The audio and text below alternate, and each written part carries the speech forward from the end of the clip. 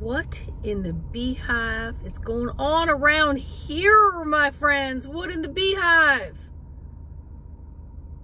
You know, more and more people are taking it upon themselves to take information that doesn't belong to you, that hasn't bared witness by you directly, hasn't been experienced by you directly, isn't even one degree of separation experienced and witnessed by you directly, but everyone's taking everyone else's information and they're carrying it around like it's their badge of honor and they're going to be the hornet that's going to go around and sting and impregnate everybody with all that poisonous information. And people that are doing it think they're doing someone else a favor. Guess what I know? You need to know this. Oh, let me comment about that. Let me disagree with that. Let me start an argument about that. When the bottom line is that information isn't even correct. And when it's, you don't even know where it was impregnated from. You don't know its original source. You don't know anything about it but yet you're taking it upon yourself to talk about it and to repost it and to share it out there and to have more discussions. What did you hear? Do you know? I heard. I know. That makes sense to me. When you're just jibber jabbering about a whole lot of nothing and you're creating hives and hives and hives, and these hives are swelling up and they're bursting with unnecessary harmful information that serves absolutely no purpose except for the uncontrollable flapper that's attached to someone's face and they just can't stop.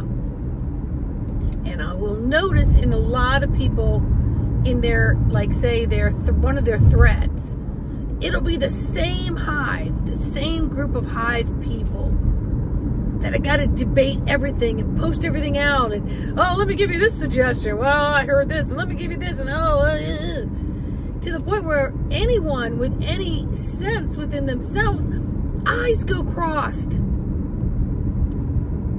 Now yes there's a lot of AI yes there's a lot of bots.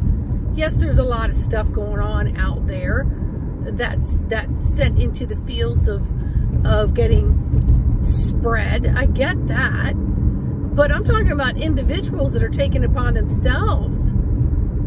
And if you're not honing in and skilling and really working on your your inner ability, your innate concept of translation, which is your feelings, you're never going to know the difference and you're going to get swallowed up in the hives.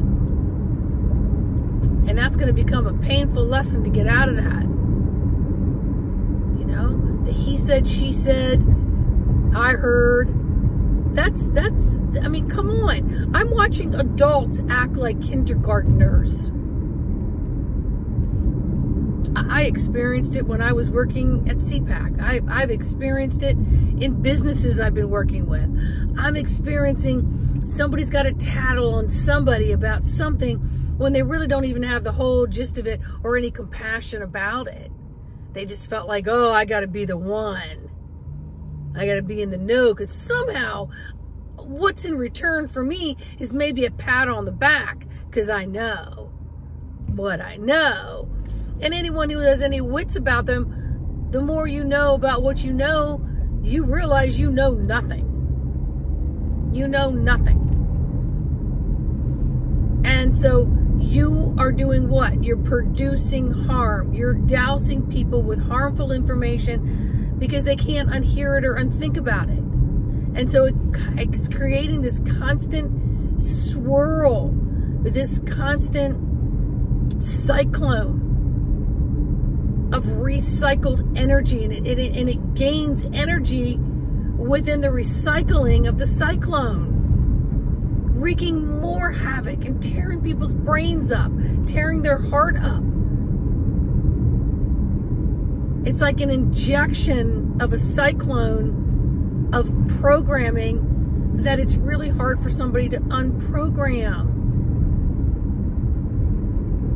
And what it does to your nervous system, my friend, is terrible. And yet, It's it's happening every day. People are talking about the State of the Union. Oh dear God. People are talking about the upcoming elections like crazy people.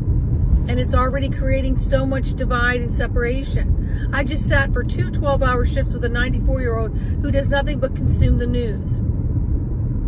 Can she talk about it and dialogue about it at 94? Absolutely. Has she lived a lot of some of these experiences that's led up to now? Absolutely. But what is it doing to her? It is creating fear. The doors need to be locked. Got to stay away from this. Got to talk about that. Got to do, yeah, yeah, ooh, yeah, ooh, what? And so the whole day is is this mounting cyclone of stuff that leads to what? physical, mental, spiritual, and emotional exhaustion. And it serves no purpose. It's harmful. It's ingesting chemical programming that is so harmful. So I'm going to ask everybody to go into this weekend, March 8th, and stay in your lane. Do not repeat what other people are saying. Do not feed into the threads of what other people are saying and make a counter comment, even if you think you're helping people. Stay out of it. Maybe when someone sees that they don't have as much subscribers or comments on something, maybe you're not feeding that ego that needs that pat on the back, that's drawing people in, that's giving them adrenaline, by the way. You're feeding them loosh and you're depleting yourself while you do it. Maybe when they see that they have less on there, maybe they'll realize, oh, I need to let that fizzle out. Or maybe you may realize that's an AI bot that was posting all of that and you're fighting with an AI bot. Yeah. Yeah, don't you go bang your head on the nearest dumpster? That's going to make a lot of sense too.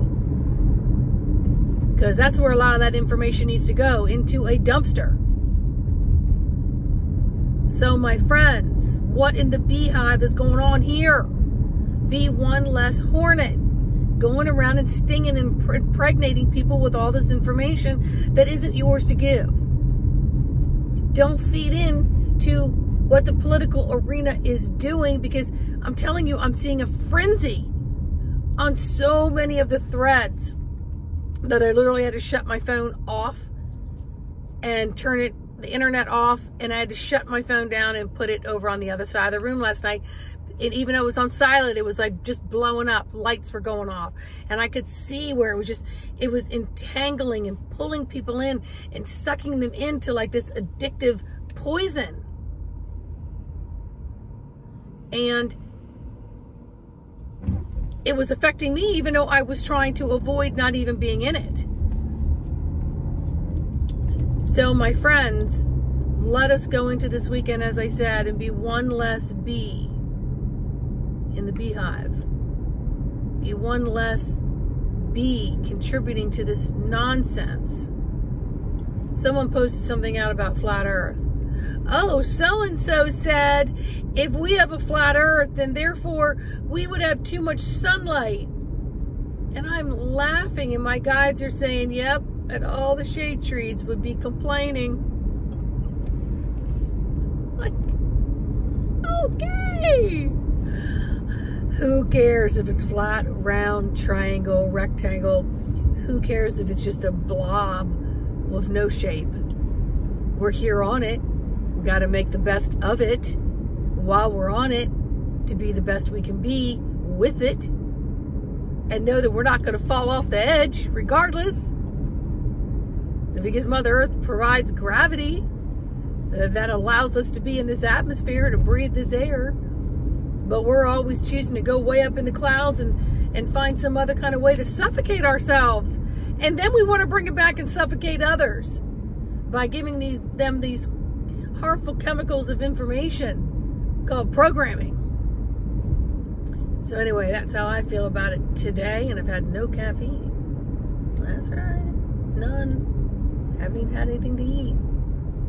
But I'm revved up because I got a lot of energy. And Spirit was like, what in the beehive? And I was like, oh, I like that. Yeah, all these little bees going out going, sting, sting. Yeah. You're just injecting everybody with your two cents, which is like two billion cents because it just keeps adding up. And then we got this whole bank of old programming that we need to get, get away from. So again, let's be one less bee in this hive, shall we? Learn how to align yourself. Learn how to tap in when you know you shouldn't be in it.